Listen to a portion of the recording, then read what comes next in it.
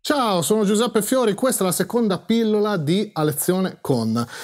In questo caso prendiamo in considerazione un altro pezzo di Rezzofonic, diciamo una delle prime cose che mi è capitato di suonare quando ho iniziato la collaborazione con Mario e è stata una delle prime cose che abbiamo visto insieme in sala prove, per cui è un pezzo cui molto, a cui sono molto affezionato. È un pezzo molto basato sul basso, nel senso che il riff di basso è centrale per quello che riguarda l'economia del pezzo, nel senso che poi arrivano delle chitarre, arrivano un sacco di voci, un sacco di featuring, nel senso che è un pezzo a cui hanno collaborato da Rocco Siffredi a Jake La Furia, insomma chi più ne ha più ne metta, Cristina Scabile da Cuna Coil, me ne vengono in mente ma ce ne sono tantissimi, Nino Frassica, piuttosto che Giobbe Covata, insomma un pezzo pieno di collaborazione, andatevelo a vedere su YouTube.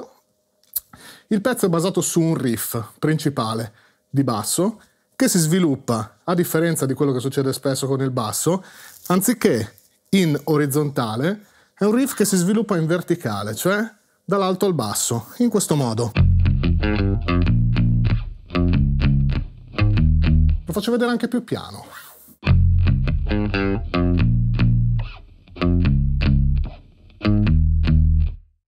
Partiamo dal Fa, quarta corda, fino ad arrivare giù in fondo sul Sol. Quindi le quattro corde del basso quattro corde, questo ne ha cinque ma non lo prendiamo in considerazione in questo momento.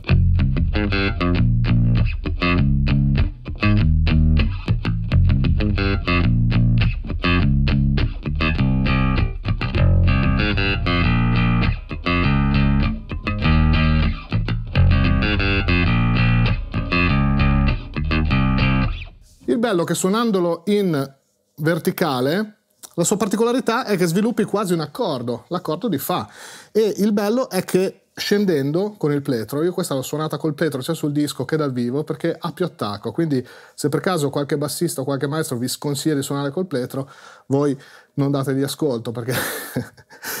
questo è un po' un paradosso, però io mi sono sempre scontrato con gente che mi ha detto di non suonare con il pletro, il basso, invece ho scoperto che la differenza su uno strumento come questo è che il pletro in certe occasioni, non in tutte,